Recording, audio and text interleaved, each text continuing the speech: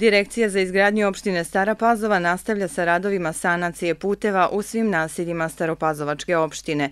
Nakon krpljenja udarnih rupa i preslačenja asfaltom ulica u Starim i Novim Banovcima i Belegišu, radovi sanacije trenutno teku na deonici od bazena u Novoj Pazovi ka Vojki, kaže za radioteleviziju Stara Pazova direktor Direkcije za izgradnju opštine Stara Pazova Nedeljko Kovačević. Od bazena do Vojke, odnosno od nadvožnjaka ka Vojke, što će biti sada zakrpljeno ove udarne rupe koje su bile na putu i bit će presvučen taj put u dužini od 400 metara.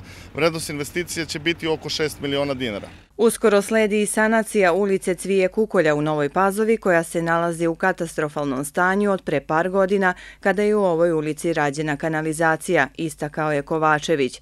Po prioritetima i po zahtevima svake mesne zajednice biće nastavljeni radovi sanacije, dodaje direktor Direkcije za izgradnju opštine Stara Pazova Nedeljko Kovačević.